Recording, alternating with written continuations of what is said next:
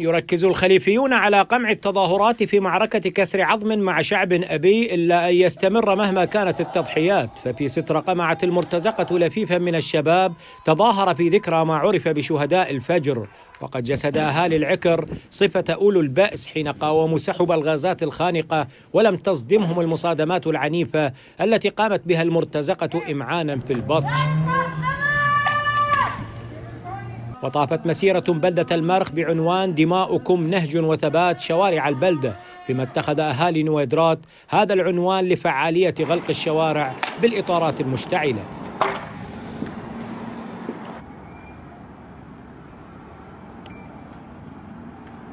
وقد خرج أهالي بوري في مسيرة رددوا خلالها شعارات ثورة الرابع عشر من فبراير منادين بإسقاط النظام الخليفي.